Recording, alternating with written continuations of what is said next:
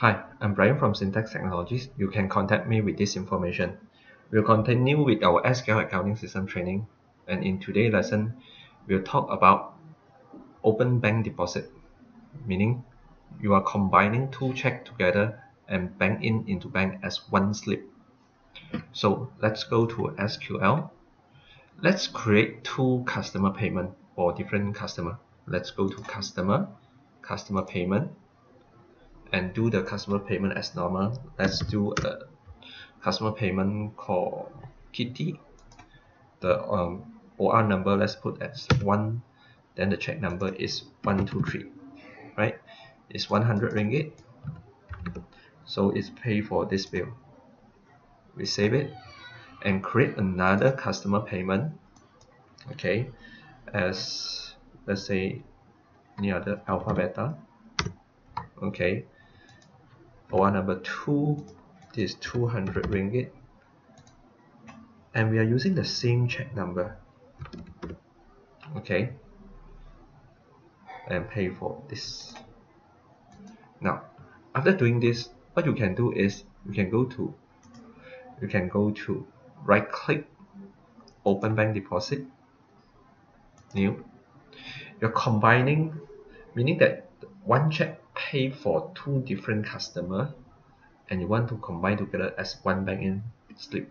So let's say the bank slip number is 123 and the date is today and the payment method is Maybank check number 123 and you want to search. So you can see that any check that with the same check number will appear and what you need to do is take these two payment okay save it now you have done the transaction part. What will happen is the system will automatically merge these two customer payment into one bank in slip and appear in bank record. Let's go to bank record. So we close this we go to general ledger bank reconciliation and let's do a edit in November because the check is in November. Apply sorry. Let's change to this. Sorry. Date is 30th of November. Let's apply.